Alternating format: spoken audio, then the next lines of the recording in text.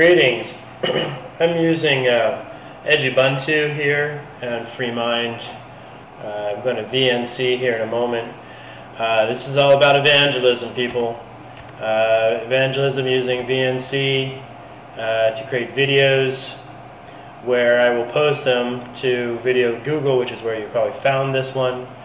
Download the AVI. It's important uh, because the Flash, the Flash players do not do a very good job rep, uh, rendering the smaller icons or text. That said, we have some work to do.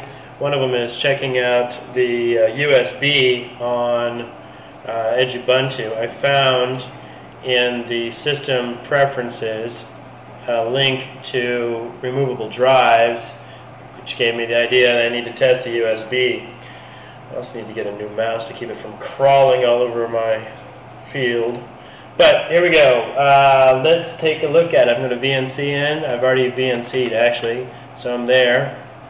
And keep my mouse from moving for a moment so as not to distract you. I'm going to plug in my USB drive, which is a little Imation 124 that I picked up. And in a moment, there it is. Okay, so it pulled up the uh, file, and you can see that everything is, well, you can see that I have files in there. Let's make that bigger, and I don't like viewing as icons, I like as list. And let's move that over. Good, alright, and let's do, uh, over here. Doesn't give me the date. Let's see if I can set the date field here. Date, give me the date. Give me the date. How do I set the date in the details here? I want the most recent.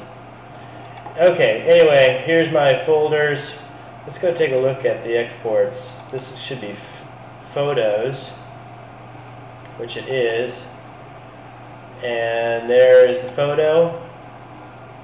Alright, so we're able to view folders from my US or files from my USB drive via uh, VNC to uh, my Windows XP box, which is quite nice. Look at that. It not okay. So width 64480. This is an old photo. Uh, anywho, there it is. I wonder what tool this is. This is Oh, I have GNOME. Okay. I have GNOME, it works, and that just goes to prove, goes to show that uh, you can load your USB sticks into Edubuntu without uh, without any problems, at least not with the Imation 124.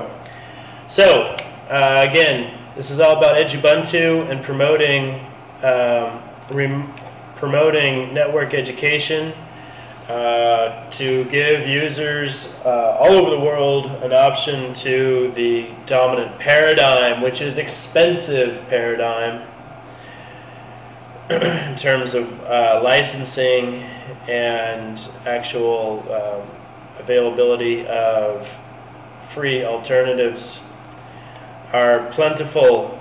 Edubuntu is one of them. It's a free Linux distribution and it is uh, enables free networked, free educational networks uh, using LTSP. We'll get into that eventually. Happy computing, and go get yourself a copy of Edubuntu. You can get it from their own website. Take care, thank you, and uh, go build your own screencasts. Thank you.